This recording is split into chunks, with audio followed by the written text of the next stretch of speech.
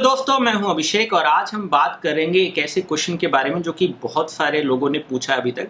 और ऐसा इसलिए हो रहा है क्योंकि सैमसंग का एक फ्लैगशिप फ़ोन जो 2014 में इन्होंने लॉन्च किया था, उसकी प्राइस जो है अभी ड्रॉप हो गई है और इस फ़ोन का नाम है Samsung Galaxy S five Samsung Galaxy S five में लॉन्च हुआ था।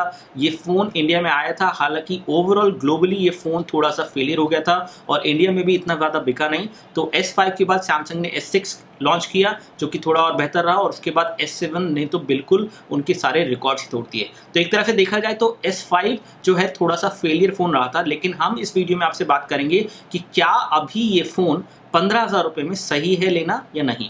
तो बात करते हैं इस फ़ोन के हार्डवेयर के बारे में और कंपेयर करेंगे इसे बाकी और कंपटीशन से भी जो मार्केट में आपको मिलता है। तो अगर मैं इस फ़ोन की स्पेसिफिकेशन को देखूँ तो इस फ़ोन में आपको पाँच पॉइंट एक, यानी कि फाइव पॉइंट वन इंच का डिस्प्ले मिलता है जो कि फुल एच डिस्प्ले है और साथ ही साथ इस फ़ोन की जो स्पेशल बात है, जो इस फ़ोन को बाकी और फ़ोन से थोड़ा अलग कर देती है और बेहतर बना देती है, वो है इसकी वाटरप्रूफ फीचर तो ये वाटरप्रूफ तो नहीं है वाटर रेजिस्टेंट है तो ये एक ऐसा फ़ोन है जो कि वाटर रेजिस्टेंट फ़ोन है, यानी कि इसमें जो फ्लैप वगैरह दिए गए हैं माइक्रो के, अगर आपने वो ठीक से लगाया हुआ है तो आप इस फ़ोन को अगर पानी में भी गिरा देंगे तो कुछ नहीं होगा और ये फ़ोन चलता रहेगा।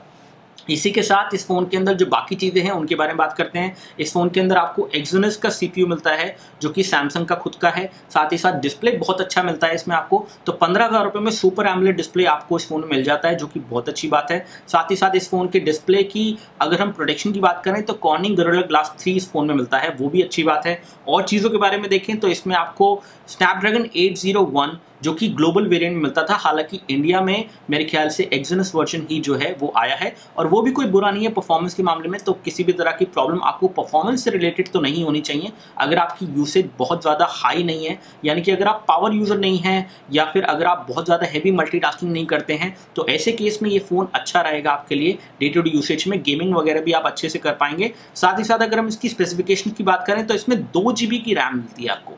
अब दो जी की रैम तो इतनी ज़्यादा कुछ खास नहीं रहती है। ऊपर से सैमसंग का जो टच विज यू इसमें मिलेगा आपको, वो थोड़ा सा फ़ोन को धीरे धीरे स्लो तो बना ही देगा। ये तो पक्की बात होने ही वाली है। लेकिन ओवरऑल देखा जाए तो ये फ़ोन कोई बुरा नहीं है। पंद्रह हज़ार रुपये में। लेकिन अगर हम कंपटीशन से कंपेयर करें तो क्या इस फ़ोन में आपको अच्छी बातें मिलती हैं, क्या बुरी बातें मिलती हैं, उनके बारे में बता देते हैं। तो सैमसंग S5 में जो आपको वाटर प्रूफ या वाटर रेजिस्टेंट फीचर जो एक्चुअली में आपको मिलता है, वो आपको बाकी पंद्रह हज़ार रुपये के फ़ोन्स में नहीं मिलेगा। जैसे कि सैमसंग J7 की अगर हम बात करें तो वो इसके आसपास आ जाएगा प्राइस में। और J seven two thousand sixteen model की मैं बात कर रहा हूँ। अब जे सेवन के अंदर आपको अच्छा हार्डवेयर मिलता है। हालाँकि इस फ़ोन के अंदर आपको एक वाटर प्रूफ फीचर मिलता है। तो अगर आप इसे जे सेवन से कंपेयर करें तो जे सेवन थोड़ा सा पंद्रह हज़ार से ऊपर आएगा और उस केस में जे सेवन आप ले सकते हैं अगर आपको बेहतर हार्डवेयर चाहिए। क्योंकि इसमें आपको डेफिनेटली जे में बेहतर हार्डवेयर मिलेगा अगर आप सैमसंग एस से उसे कंपेयर करेंगे तो। इसी के साथ जो और फ़ोन जो मार्केट में है, वो है जैसे कि मोटो जी फोर प्लस अब मोटो जी फोर प्लस से अगर आप सैमसंग एस फाइव को कंपेयर करेंगे तो एस फाइव दो हज़ार चौदह का फ़ोन है मोटो जी फोर प्लस अभी लॉन्च हुआ है। जबकि दोनों में अगर कंपेयर करेंगे तो हार्डवेयर ज़्यादा स्टेबल जो है सैमसंग एस में मिलेगा।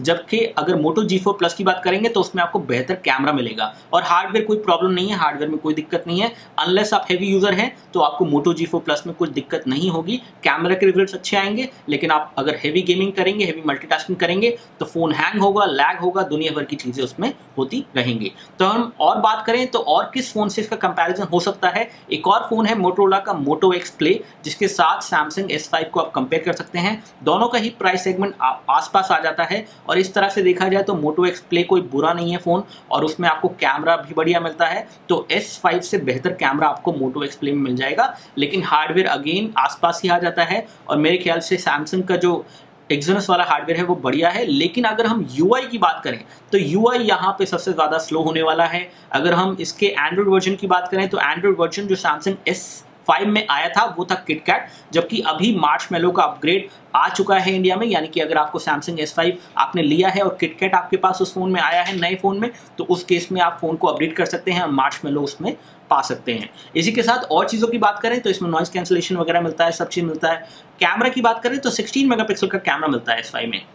एस फाइव का कैमरा कोई बुरा नहीं है, अच्छी कैमरा की क्लैरिटी आपको मिल जाती है, लेकिन अगर आप मोटो जी फोर प्लस से कंपेयर करेंगे तो मोटो जी फोर प्लस की कैमरा क्लैरिटी डेफिनेटली बेहतर है एस फाइव से। तो ओवरऑल देखा जाए तो सैमसंग गैलेक्सी एस फाइव एक अच्छा ऑप्शन है। अगर आपको सैमसंग का फ़ोन लेना है, साथ ही साथ सैमसंग की जो आफ्टर सेल सर्विस है, वो थोड़ी बेहतर है बाकी और कंपनी से तो उस केस में भी आप एस फाइव को ले सकते हैं। लेकिन एक चीज़ जान लीजिए कि ये फ़ोन समय के साथ स्लो हो जाएगा, थोड़ा लैग करेगा। अगर आप उस लैग को बर्दाश्त कर सकते हैं और सैमसंग टचविज यू के साथ जी सकते हैं। तो आप सैमसंग S5 ले सकते हैं।